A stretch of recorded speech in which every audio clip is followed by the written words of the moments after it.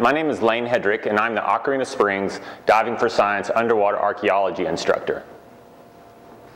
Divers who come to Aquarena Springs to take the underwater archaeology course are coming to learn what it means to be an archaeologist and what it means to take those same principles that we learn on land and utilize them underwater. Every time a diver goes into Aquarena Springs, they see a little piece of history. So it's a great experience for them to come down, be able to look at what they see, and be able to look at it in a very analytical way.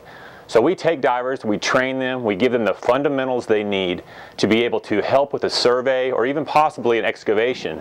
Uh, and then they also get a great history from the Aquarena Springs folks and learn a lot about the history of Central Texas. During the weekend workshop, divers come in and we spend two days going over a lot of different skills. Uh, we first go over in the classroom and we look at all the different types of archaeological procedures and then we actually get into the lake, into the, into the arena of Aquarena Springs and we utilize those skills underwater. We take what we have learned in the class, for instance we use uh, underwater mapping where the students are actually taking down datums, taking down hammers and string and they're actually lining up a site. A site that we've actually already mocked up. We've got a, a shipwreck underwater and we've got a cannon and a bunch of you know artifacts that we use to help the students understand what an archaeological site truly is. By taking the things we've learned in the class and putting that underwater, we're able to explain to them what they're probably going to have to do if they ever get on a real site.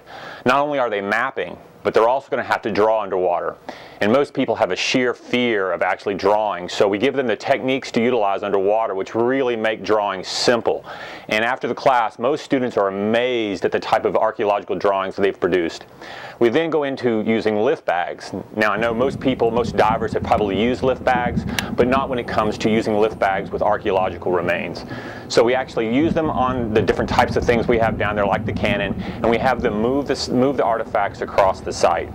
After they've gone through all three of these little skills, we then take them out to the Shiner site, the actual archaeological site that was being dug uh, by Dr. Joel Shiner.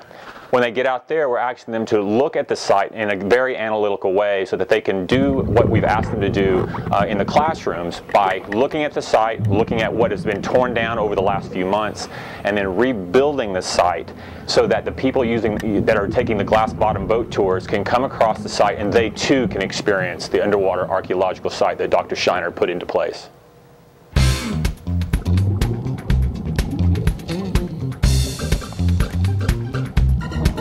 Müzik